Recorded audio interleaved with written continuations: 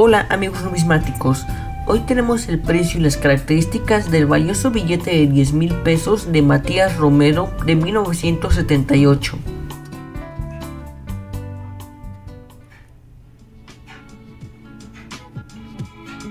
Hoy tenemos un billete que no es común, pero es muy bonito y pertenece a la familia AA de billetes mexicanos y que estos eran fabricados en Estados Unidos por la American Banknote Company en Nueva York.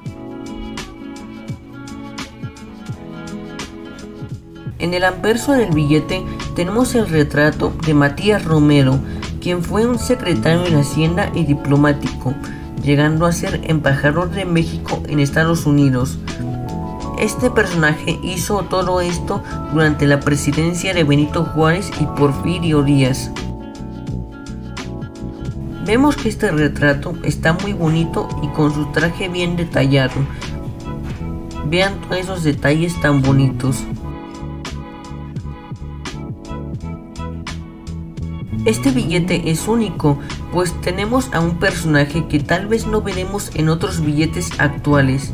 Y ahí tenemos el nombre de Matías Romero.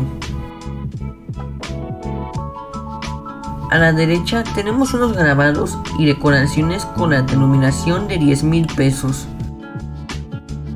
La fecha en la que este billete fue impreso es de 18 de enero de 1978, pero estos billetes también se emitieron en 1943, 1950, 1953 y 1978. Arriba tenemos la leyenda de Banco de México Sociedad Anónima y con el número de folio en color rojo. Recordemos que el Banco de México fue creado como una sociedad anónima y luego a esta institución se le quitó esa leyenda. A cada una de las esquinas vemos la denominación en un formato muy bonito y muy diferente a cada una de las esquinas, de arriba y abajo. En aquella época 10 mil pesos era mucho dinero y este billete lo puedes conseguir en un precio de 1500 pesos en una condición sin circular. Y ahí tenemos unas firmas que es del cajero, el del interventor de la Comisión Nacional Bancaria y la última firma es del cajero.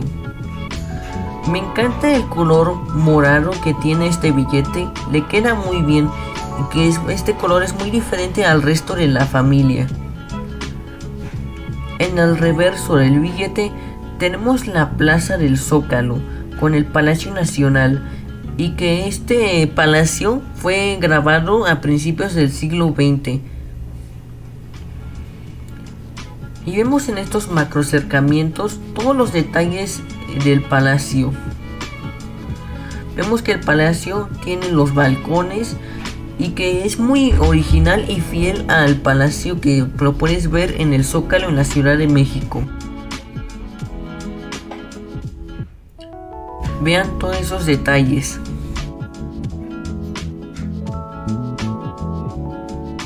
Ya en la plaza tenemos un conjunto de plantas como palmeras y arbustos con una fuente e incluso vemos a personas paseando por ahí.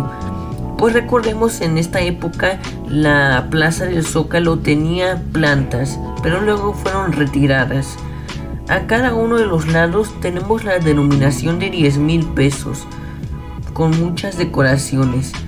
También tenemos el sello de Hacienda en color azul y el sello del Banco de México en color naranja.